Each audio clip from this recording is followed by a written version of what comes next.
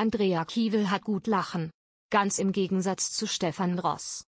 Mit tosendem Applaus und Tränen der Rührung begann der diesjährige ZDF-Fernsehgarten für Andrea Kiewel, 58, besonders emotional.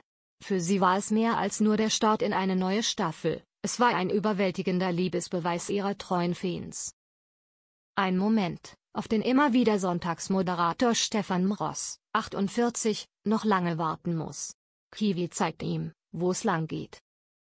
Andrea Kiewel und Stefan Ross, sie sind seit Jahren Konkurrenten.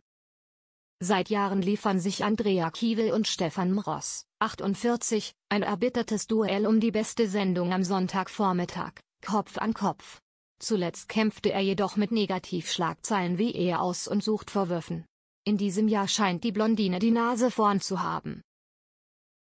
Während die treuen Fans von immer wieder sonntags noch eine Weile in die Röhre schauen müssen, da der Sendestart auf den 16. Juni verschoben wurde, fiebern die Anhänger von Andrea Kiewel bereits jeden Sonntag mit. Bis zum Start von Mross hat Kiwi längst alle Zuschauer um den Finger gewickelt. Hat sie den Moderator quasi abserviert?